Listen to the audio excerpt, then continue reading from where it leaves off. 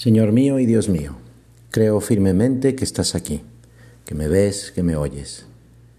Te adoro con profunda reverencia.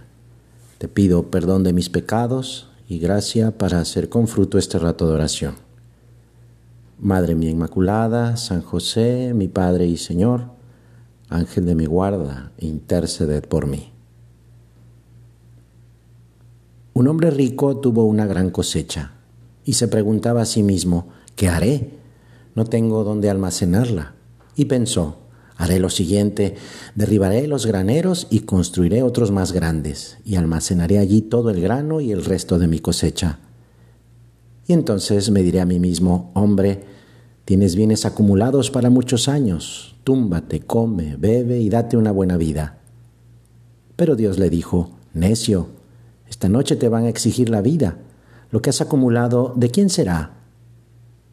Esto es lo que sucede al que acumula riquezas para sí y no es rico a los ojos de Dios. Hay dos grandes peligros para quienes quieren ser santos en medio del mundo. El primero es creer que no es necesario esforzarse en realizar un buen trabajo porque Dios me va a dar todo lo que necesite. El segundo es confiar demasiado en nuestras propias fuerzas y dejar a un lado la ayuda que Dios me ofrece. Este agricultor de la parábola que nos cuenta el Señor confiaba en sus habilidades humanas y hace un razonamiento correcto, propio de un buen agricultor. Tuve una gran cosecha, voy a almacenar mi propio cereal y lo voy a, a guardar en la bodega hasta el momento oportuno para vender el grano cuando haya un mejor precio. Y así viviré tranquilo teniendo mayor capacidad de almacenaje. Pero se quedó con la mitad del razonamiento sus planes le hicieron olvidar que Dios tiene sus propios planes, por eso Dios lo llama necio, insensato. Somos personas que vivimos en medio del mundo, que trabajamos como este agricultor, que razona correctamente, sí, como un buen profesional. Si hay una cosecha abundante, el precio baja y gana más quien puede almacenar más tiempo hasta el momento en que el precio repunte. ¿Cuál es el problema entonces? ¿Por qué Dios lo llama insensato? El problema es esa confianza absurda que pone en su capacidad, en su negocio, en su habilidad. Todos tenemos el gustoso deber de trabajar porque es voluntad de Dios. Además Jesús ha rezado por cada uno pidiendo a Dios Padre, no te pido que los saques del mundo, sino que los protejas del mal. En el lugar que ocupamos en la sociedad, ahí nos hacemos santos precisamente porque, por una parte, el modelo es Cristo, trabajar como Cristo, y también porque el trabajo es obra de corredención, es decir, buscamos que el amor de Dios se manifieste, o sea, una manifestación de Cristo en el mundo, en mi actividad profesional, la que sea. Estamos llamados todos los bautizados a restablecer el reino de Dios en todas las actividades humanas honestas, poner a Cristo en todas mis actividades. Entonces lo que Jesús nos recuerda con esta parábola es que revisemos ¿En mi trabajo está Cristo? ¿Los talentos que Dios me ha dado los pongo al servicio de esta corredención? Es decir, con mi trabajo ayudo a que las personas que me rodean se acerquen más a Dios. San José María nos recuerda que Jesús dice, si ustedes me colocan en la entraña de todas las actividades de la tierra, cumpliendo el deber de cada instante, siendo mi testimonio en lo que parece grande y en lo que parece pequeño, entonces todo lo atraeré hacia mí. Mi reino en ustedes será una realidad. Vamos a pedirle al Señor entonces que nuestro trabajo se convierta en un medio para encontrarlo, para cada uno y para los demás. Porque, date cuenta, tu trabajo es medio de santificación, santificación para los demás y santidad para ti. Lo que hace falta es amor de Dios y rectitud de intención cosa que no tenía este agricultor. Este hombre pensaba a corto plazo, a corto plazo en el tiempo y en el espacio, porque tenía la mirada puesta solo en lo material.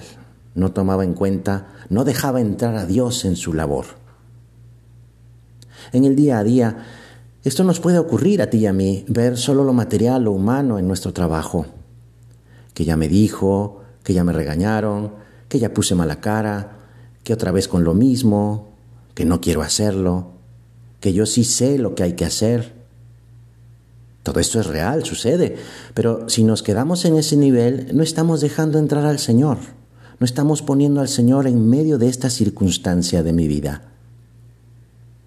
Todos los cristianos estamos llamados a trabajar mucho y bien, y es muy importante que pongamos ahí nuestro esfuerzo, cuidando los detalles, como decía el fundador del Opus Dei.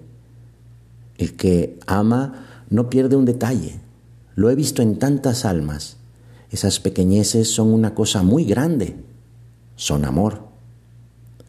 Detalles en los que también están los demás, porque busco que mi trabajo sea un medio para que otras personas se acerquen a Dios, porque busco servir, ayudar. Pero todo el esfuerzo que ponemos en trabajar mucho y bien adquirirá su último sentido en función de la intención con que lo hacemos realizar nuestro trabajo por Dios y para Dios, con la mirada puesta en el cielo. Así, mi trabajo responderá a lo que Dios espera de mí, colaborar con nuestro Creador en la construcción del mundo y en el plano sobrenatural a la redención de los hombres y de la entera creación. Esa intención que no es como una etiqueta que se aplica a un producto desde fuera una vez terminada su fabricación, sino más bien que debe orientar todas mis acciones a la gloria de Dios. Que la belleza, la armonía y la amabilidad de Dios se reflejen en ese pedacito de la creación que nos toca realizar. Y para terminar nuestra conversación con Jesús, un consejo de San José María.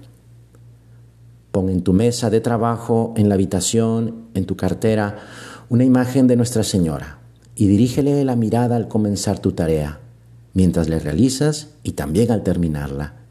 Ella te alcanzará, te lo aseguro, la fuerza para hacer de tu ocupación un diálogo amoroso con Dios. Te doy gracias, Dios mío, por los buenos propósitos, afectos e inspiraciones que me has comunicado en esta meditación. Te pido ayuda para ponerlos por obra.